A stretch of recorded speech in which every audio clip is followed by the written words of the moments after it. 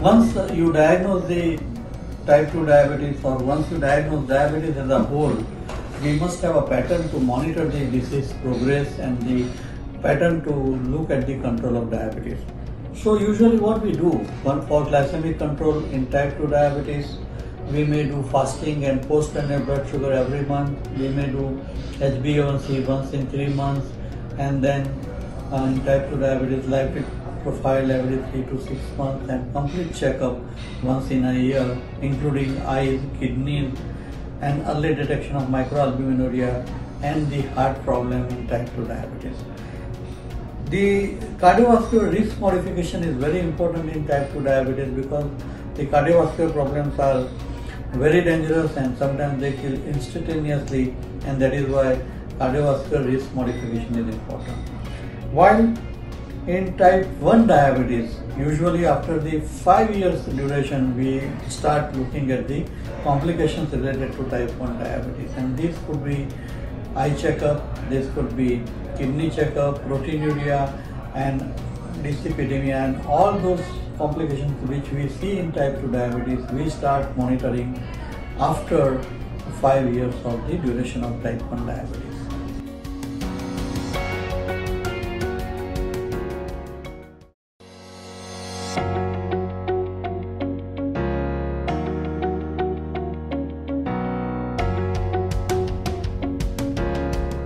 First thing which I would like to mention about diabetes mellitus that this is a metabolic disorder characterized by high level of blood sugar in the blood.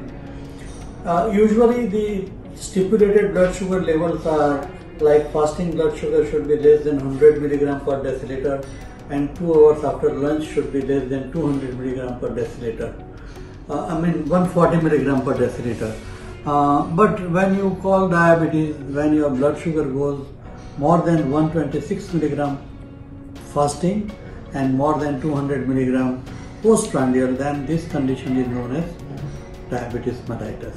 Now, uh, and then another third dimension also has been added to this is uh, the uh, HbA1c or glycosylated hemoglobin which gives you a 3 months average Normal values in human being is less than 5.8% and if it goes above 6.5% uh, then it is called diabetes. Now that, that makes you wonder that uh, what, what, what is called between the fasting levels of 101 to 125 or 141 to 199 or 5.8 to 6.4. So I would tell you that these levels are like if you have abnormal blood sugar of uh, 106 or something, then it is called as impaired fasting glucose.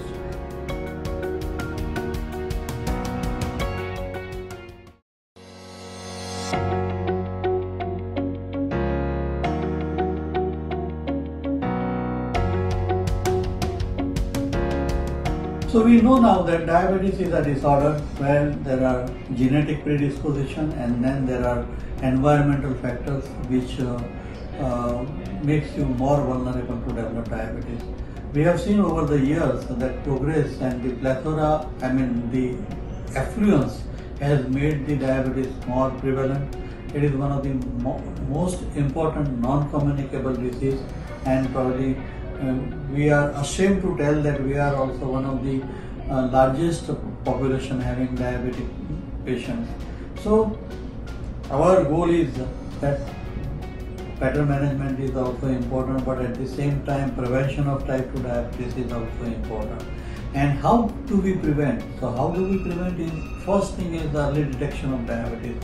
Second thing, that uh, appropriate diet changes, we use appropriate calories, we cut down because we have a very high glycemic content and we have a very high carbohydrate content in our food at the cost of protein. So we must change our diet pattern and we must cut down on carbohydrates and we should have more proteins in our diet. In view of the cardiovascular complications and as, as we know that Asians are very vulnerable to cardiovascular problems,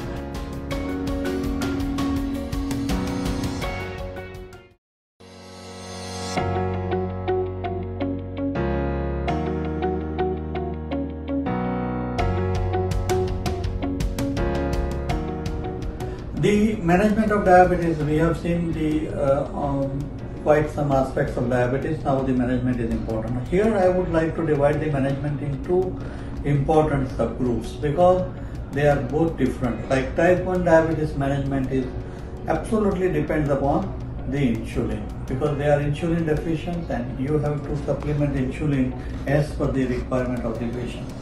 So type 1 diabetes patients, they need insulin for the good control of diabetes, good quality of life and uh, usually the requirement is around 1 unit per kilogram body weight in all these patients.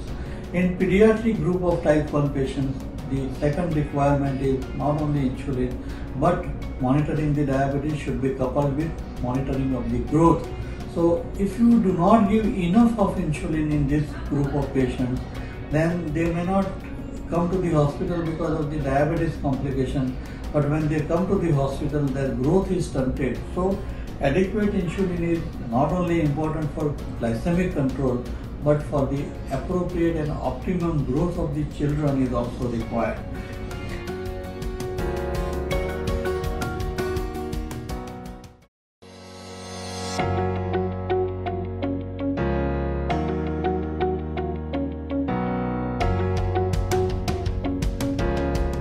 I'm going to talk to you is regarding the symptoms of diabetes.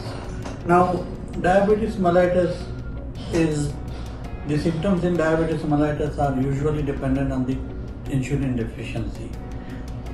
So, if you have insulin deficiency and if you are having type 1 diabetes, then you usually are symptomatic.